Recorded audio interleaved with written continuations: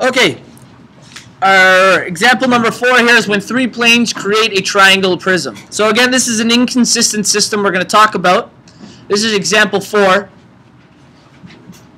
That's a four. On 9.4. Okay. So again, they've given us three equations of planes: x minus y plus z equals one.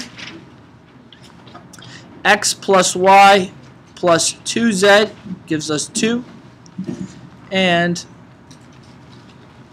x minus 5y minus z gives us 1. Okay? So, first thing we always do when checking these systems is check the normals. If the normals are the same, we have parallel lines, and then we know we're not going to go anywhere from there. So, we'll quickly check. Our very first normal is 1, negative 1, and 1. That should be a 1. Our second normal is 1, 1, 2. Okay, that's different from the first, so those aren't parallel. And our third normal is 1, negative 5, negative 1. Great. All three of our normals are different, which means we know we're not dealing with coincident planes or parallel planes. So these planes will intersect. The question is, will they intersect at a point, a line, or three different lines? Okay. Now I've kind of given it away, but let's go through the process anyways. If say we didn't know, the first step would be is we're going to go through our process of elimination again. We're going to start to get rid of variables so that we can isolate to figure out if we can find a point for this or if it's just going to be a line. So I'm going to take equation 1 and compare it to equation 2. That's our first step when we have three of them. We're going to use it to create a fourth equation. So equation 1 is x minus y plus z is equal to 1. And equation 2, I'm just going to multiply it by negative 1. So we have x plus y, thank you, sorry, x minus, ugh, negative x minus y. Forgot that we multiplied by negative 1. Minus z is, minus 2z is equal to negative 2. It's really right clear.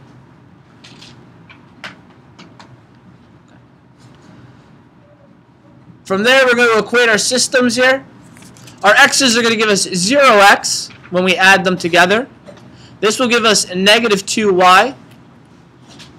This will give us negative z and is equal to negative 1. So equation 4 reads negative 2y minus z is equal to negative 1. That's our fourth equation. We then do the same idea with equation 1 and equation 3. We're going to eliminate our x in the two of those. So equation 1, x minus y plus z equals 1. And same idea, I'm going to multiply equation 3 also by negative 1.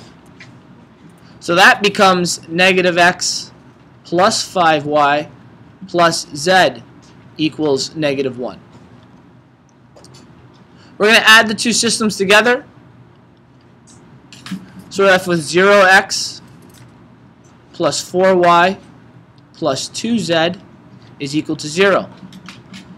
4y plus 2z is equal to 0. Good. Okay? So we've now created a fourth and fifth equation. We're going to use those fourth and fifth equations to, again, eliminate another variable and see what we can come up with. Okay? So, I take equation 4, which is negative 2y.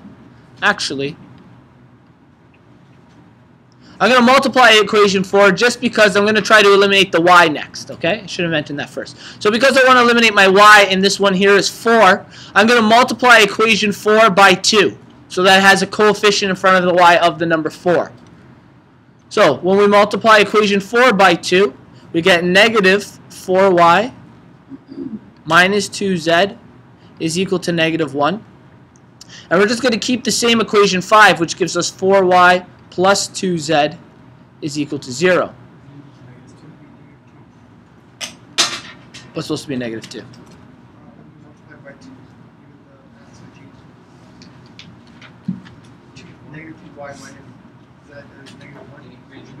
Oh, yes, should be negative 2. Thank you.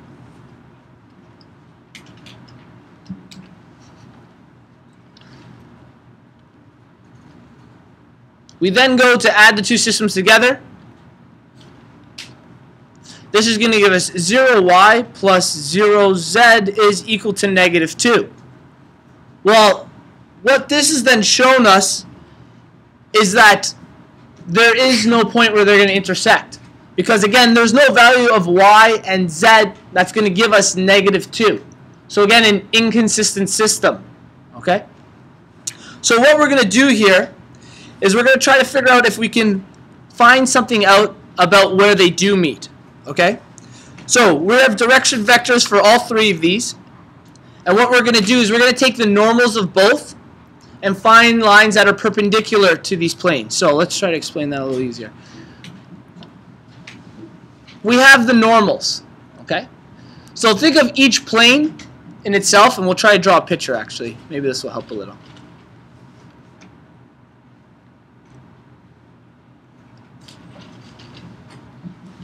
So we have one plane, looks something like this.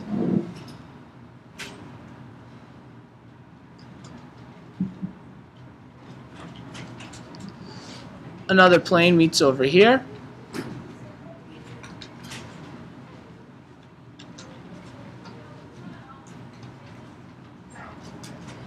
And our third plane comes across. So let's talk about these planes. What happens from these planes, if this is our plane 2, plane 3, and plane 1, if you notice these lines here, okay, I want you to think of the normals of these planes, okay? The normals of these planes, for instance, let's say we have normal of our first plane here, We'll put it in red. So a normal of the first plane would look like it might actually come directly at us. Okay? So let's extend it down a little. It would kind of come out like this. So we'll call that the first normal, the normal of plane 1.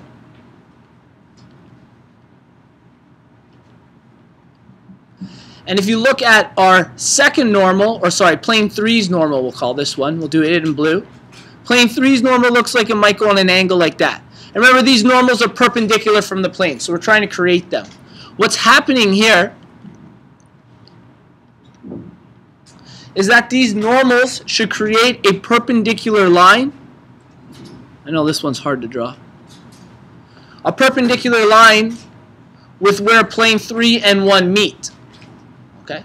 Which means we can find the direction vector for this line where they meet by finding the cross product of normal 1 and normal should be a 3. Normal 3. Okay? And that is the case for all of the ones, or all of the planes we have. Again, here's our normal 1. We'll give this as normal 2. Normal 2 will go in green. Something like that. They should create perpendicular lines with our above line where the two planes meet. So that would be Rishi Bangaraja, please come to the main office. Rishi Bangaraja. So that perpendicular line would again give us where the two lines meet. So if we take normal 3, sorry, normal 2 and normal 1, and find the cross product of the two of them, we should be able to get the direction vector for this line, just like we would from this line. And then vice versa with the same idea here, we'll just do it quickly. That means normal 2 and normal 3 should also give us the direction vector from this line. What we're going to figure out, okay, is if all of these lines are parallel, these new directions, okay, and we could have called them maybe M1, M2, and this third one M3. If all of those vectors are parallel, we know that all three of these planes meet on different lines. In fact, there'll be three separate answers to these. Okay, so we're going to take the normals from above and put them through the cross product to make sure that this is the case. If this isn't the case, either we've made a miscalculation or they all meet on possibly one line. So the normal for number one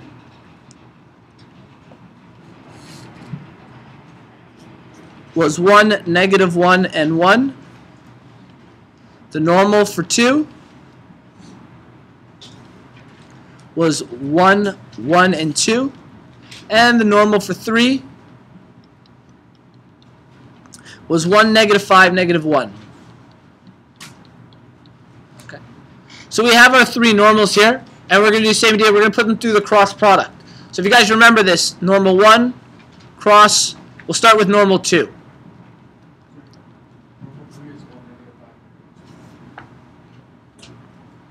Should be negative 1. Check what you wrote down. Should be negative 1. So we're going to take these normals. So remember that gives us, we'll call this our A and B for simplicity's sake as we go through this. So it should be A2 times A3, which gives us negative 2. Subtract A3 times A, sorry, B2, which gives us negative 1, so plus 1. We then have A3 times B1, which gives us 1. A1 times B3, so subtract 2. And finally, A1 times B2 gives us 1. Subtract A2 times B1, which is negative 1, so becomes a plus. So first one we get is negative 3, negative 1, 2. Is that right? Yep, we're good. We then do the same thing with normal 1 and normal 3. So same idea. We're going to take our, do this one in blue so we can keep track of what we're doing here. A2 times B3, which is negative 1 times negative 1, so it gives us 1. Subtract A3 times B2. Subtract negative 5, so we're going to get plus 5.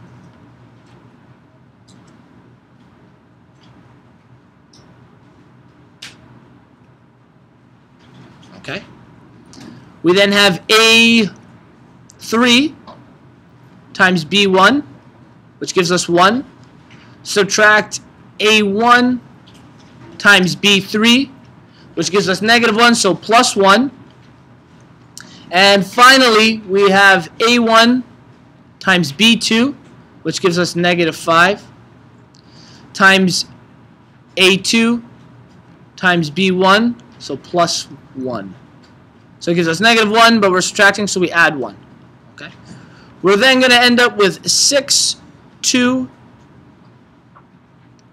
and negative 4. Now this may look different, but if I take out a factor of negative 2, so we take negative 2 out, we're left with negative 2 as a scalar and negative 3, negative 1, positive 2. So these two lines are parallel. The direction vectors from both of them are parallel, and all we have to do is confirm our third one has the same case. So vector or normal A2 cross normal 3. Same process. I know the lines underneath are getting a little confusing. At least for me they are. Uh, A2 times A B3. So that's 1 times negative 1 gives us negative 1. Subtract A3 times B2, which gives us... Good morning, colleagues. Pardon the interruption. Just to let you know that... Okay, so just to reiterate that. We already did A2 times B3. We're now doing A3, which is the number 2, times B2 is negative 5. So that gives us negative 10. Because we're subtracting, we're going to add it. We then do A3 times B1, which is 2 times 1 is 2. Subtract B1 times A3, which is, no, we just did that. Other way around, A1 times B3. 1 times negative 1 is negative 1, but we're subtracting, so we add 1. And finally, A1 times B2 gives us negative 5. Subtract A2 times B1, which is 1. We carry this out, we get 9, 3, and negative 6. And again, if we take out a factor of negative 2, we're left with 3, negative 3, thank you, negative 1, and positive 2. Oh, yeah, not 2. There we go. So, a bit of work. All that did is it proved that the three lines where the three planes intersect each other are all parallel. So because they're all parallel, that means we're going to get three different lines, and they're all scalar multiples of each other, these parallel lines, okay? So that means we're going to have three different lines. Now, if I were to ask you where they actually intersect each other, your next step would be to compare planes 1 and 2, find the line. Then compare planes 1 and 3, find the line, and then compare planes 2 and 3 and find the line. This would be a very in-depth question if you're actually asked to find all three points where they intersect each other. Okay, so just reiterate that, we already did A2 times B3. We're now doing A3, which is the number 2, times B2 is negative 5. So that gives us negative 10. Because we're subtracting, we're going to add it. We then do A3 times B1, which is 2 times 1 is 2 subtract b1 times a3, which is, no, we just did that. Other way around, a1 times b3. 1 times negative 1 is negative 1, but we're subtracting, so we add 1. And finally, a1 times b2 gives us negative 5. Subtract a2 times b1, which is 1. We carry this out, we get 9, 3, and negative 6. And again, if we take out a factor of negative 2, we're left with 3, negative 3, thank you, negative 1, and positive 2. Oh, yeah, not 2. There we go. So, quite a bit of work. All that did is it proved that the three lines where the three planes intersect each other are all parallel. So because they're all parallel, that means we're going to get three different lines, and they're all scalar multiples of each other, these parallel lines, okay? So that means we're going to have three different lines. Now, if I were to ask you where they actually intersect each other, your next step would be to compare planes 1 and 2, find the line. Then compare planes 1 and 3, find the line and then compare planes 2 and 3 and find the line. This would be a very in-depth question if you're actually asked to find all three points where they intersect each other.